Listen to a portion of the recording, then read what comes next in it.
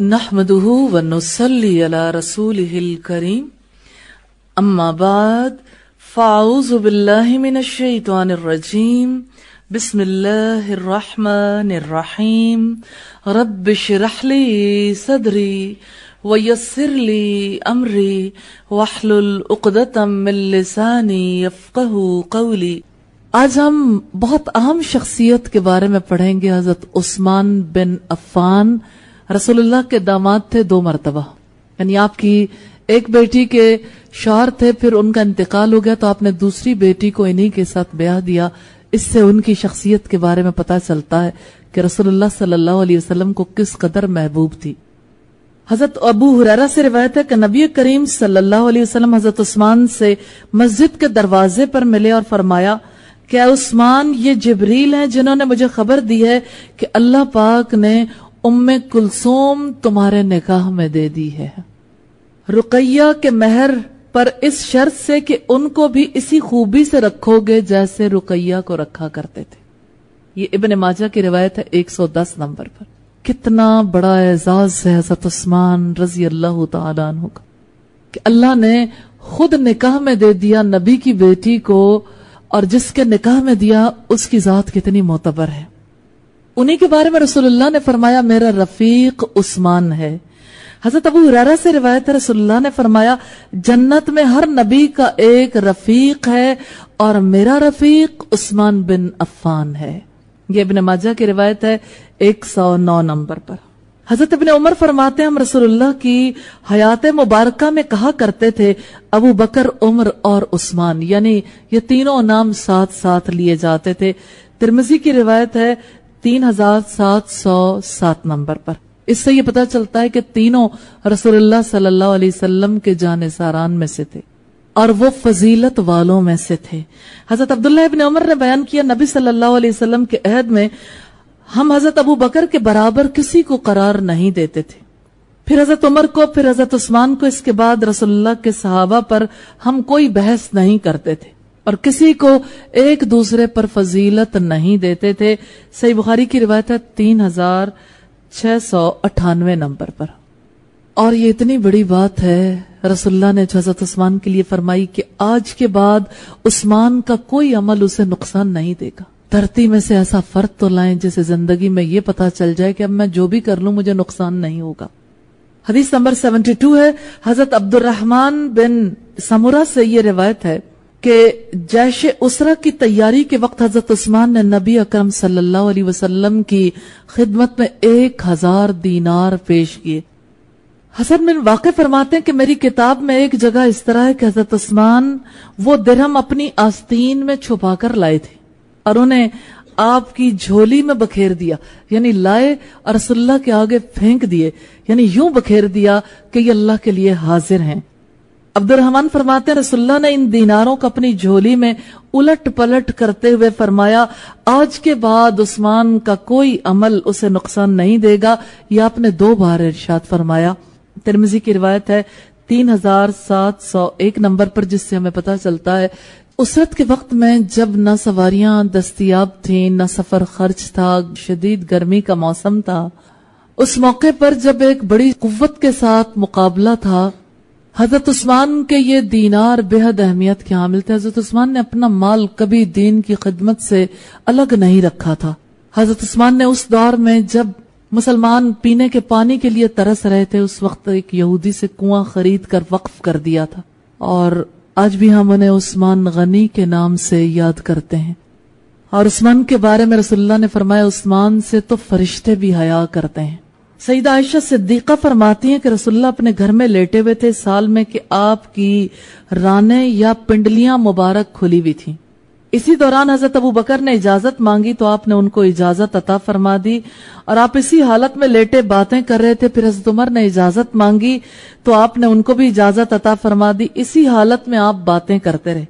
फिर हज़रत उस्मान ने इजाज़त मांगी तो रसुल्ला उठकर बैठ गए। अपने कपड़ों को सीधा किया। रावी मोहम्मद कहते हैं कि मैं नहीं कहता कि ये एक दिन की बात है।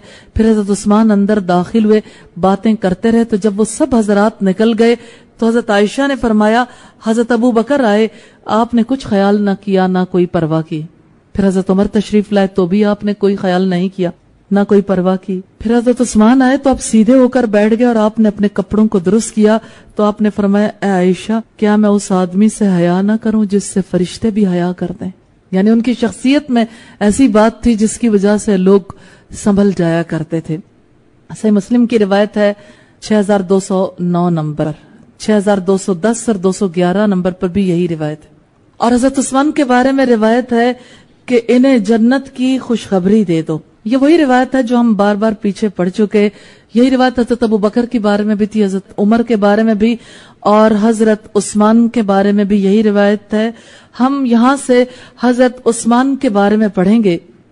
हज़रत अबू मूसा कहते हैं कि एक इंसान आया, उसने दरवाजे को खटखटाया। मैंने कहा, कौन? उन्होंने कहा, उस्मान बिन अफान। मैंने अर्ज़ किया, तेरे हज़रत अबू मूसा कहते हैं कि मैं नबी सल्लल्लाहु अलैहि वसल्लम की खिदमत में आया और मैंने आपको हज़रत उस्मान के आने की खबर दी। तो आपने फरमाया उनको इजाज़त दे दो और उनको जन्नत की खुशखबरी दे दो। उस बलवे के साथ जो उनको पहुँचे रावी कहते हैं, मैं आया और मैंने कहा, आप तशरीफ़ लाएँ। और रसुल्ला ने आपको उस बलवे के साथ जन्नत की खुशखबरी दी है कि जो आपको पहुंचेगा, यानी आपको मुसीबत बहुत बड़ी आएगी। हज़रत उस्मान की शहादत की तरफ़ इशारा है। हज़रत अबू मूसा कहते हैं कि हज़रत उस्मान आए तो उन्होंने देखा कि कुएँ के किनारे इस तरफ़ जगह नहीं है तो वो आपके साथ दूसरी तरफ़ बैठ गए। शरीक कहते हैं, हज़रत सईद बिन मुसैयब फरमाते हैं, मैं इससे समझा कि इनकी कब्रें भी इसी तरह होंगी। यानी पहचानने वाले लोग पहचान जाया करते थे। सही बुखारी की रिवायत है, तीन हज़ार छह सौ पिचानवे नंबर पर, मुस्लिम की रिवायत है, छह हज़ार दो सौ चौदह से दो सौ सोलह नंबर पर। और तुझ पर एक नबी, एक सिद्दीक और दो शहीद हज़रत अनस ने बयान किया, नबी करीम सल्लल्लाहु अलैहि वसल्लम ओहद पहाड़ पर चढ़े और आपके साथ अबू बकर, उमर और उस्मान भी थे। पहाड़ कांपने लगा। आपने इस पर फरमाया, ओहद ठहर जा, मेरा ख्याल है, हुजूर ने उसे पाँव से मारा भी था। यानी जब पहाड़ हिला तो आप सल्लल्लाहु अलैहि वसल्लम ने एक पाँव जो है वो ज़ोर से रखा होगा कि तुझ पर एक नबी, एक सिद्दीक और दो शहीद ही तो हैं। यानी आखिर ऐसी क्या बात हो गई कि आने वाले तो ऐसे हैं जिनमें से एक नबी है और एक सिद्दीक है, यानी आला मरतबे के आला दराजात के लोग हैं। सही बुखारी की हदीस का नंबर है तीन हज़ार छह सौ सतानवे। इससे भी हज़रत उस्मान के मरतबे का पता चलता। और बड़ी बात है हज़रत इबन उमर फरमाते रसुल्ला ने फितने का ज़िक्र किया और फरमाया, इस फितने में उस शख्स को मजलूमाना कत्ल किया जाएगा। ये बात आपने हज़रत उस्मान के बारे में फरमाई। यानी हज़रत उस्मान की शहादत की पेशीन गोई रसोल्ला ने पहले ही कर दी थी और यह भी कह दिया था कि मजलूमाना कत्ल किया जाएगा। तिरमिजी की रिवायत है तीन हज़ार सात सौ आठ नंबर पर। और फिर यह भी पेशीन गोई थी, खुशखबरी के फितने के दिन उस्मान हिदायत पर होगा। हज़रत अबुल अशस सनाई फरमाते हैं कि शाम में चंद खुतबा हजरात खुतबे के लिए खड़े हुए, इनमें बाद साहब कराम भी थे। इनमें सबसे आखिर में खड़े होने वाले मुर्रा बिन काब थे। वो फरमाने लगे कि अगर मैंने रसुल्ला से ये हदीस न सुनी होती तो मैं खड़ा ना होता। नबी अकरम सल्लल्लाहु अलैहि वसल्लम ने इस हदीस में फितनों का ज़िक्र किया और उनका जल्द वाक़ होना बयान किया।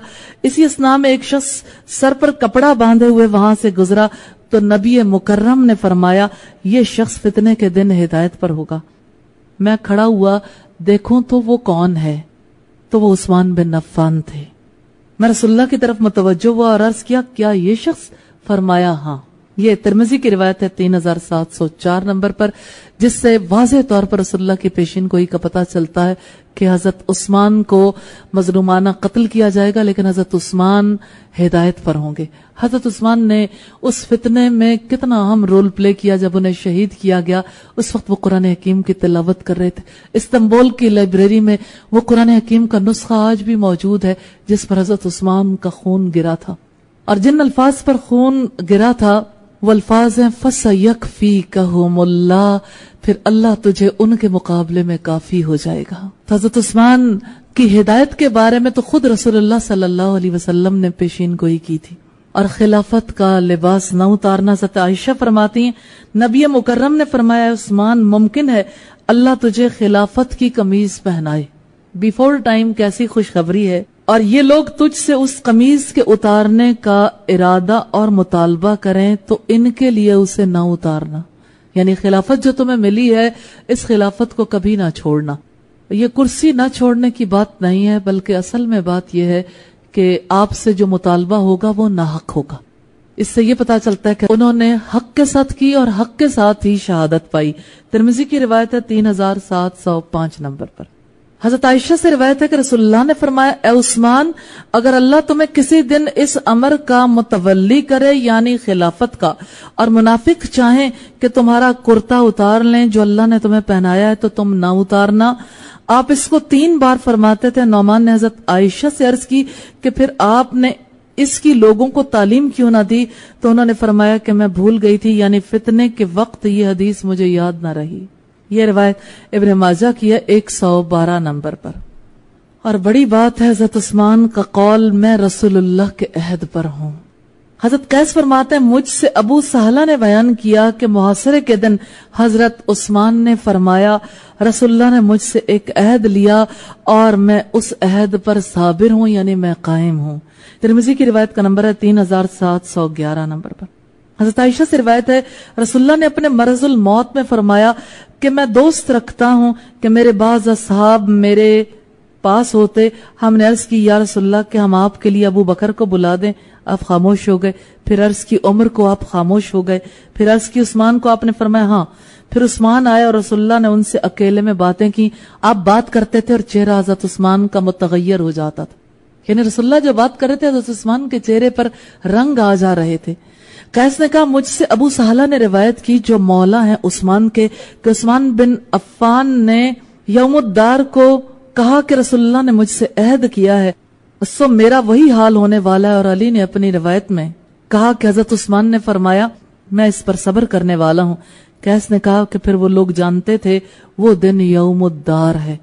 इब्न माजा की रिवायत है एक सौ तेरह नंबर पर, जिससे हमें ये पता चलता है कि हज़रत उस्मान ने जो शहादत पाई, उनकी शहादत हक पर थी, लेकिन हज़रत उस्मान की शहादत से फितनों का दरवाज़ा खुल गया। रसुल्ला ने इसे फितने का मामला ही कहा था, और यह भी बताया था कि आपकी शहादत जो है मजलूमाना तौर पर होगी। हज़रत उस्मान गनी ने अपने माल से जगह खरीद कर मस्जिद नबवी में तोसी की थी। सुमामा बिन हजन कुशरी फरमाते हैं, जब हज़रत उस्मान अपने घर की छत से बलवाइयों से मुखातिब हुए तो मैं भी मौजूद था। उन्होंने फरमाया, तुम मेरे पास अपने इन दोनों साथियों को लाओ जिन्होंने तुमको मेरे खिलाफ जमा किया। चुनाचे उन दोनों को लाया गया, गोया कि वो दोनों ऊँट हैं या गधे हैं।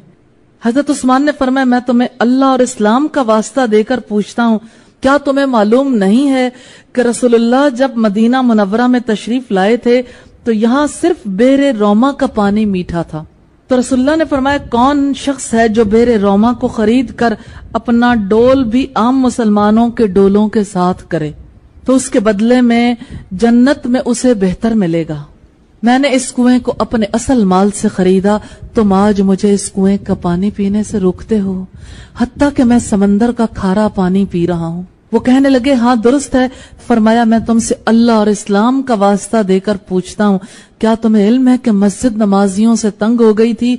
रसुल्ला ने फरमाया, कौन है जो फुला खानदान से जगह खरीद कर मस्जिद वसी कर दे तो उसके लिए जन्नत में उससे बेहतर बदला होगा। मैंने अपने असल माल से वो जगह खरीदी। तुम आज मुझे इस मस्जिद में दो रकत नमाज़ पढ़ने से रोकते हो। वो कहने लगे हाँ ठीक है।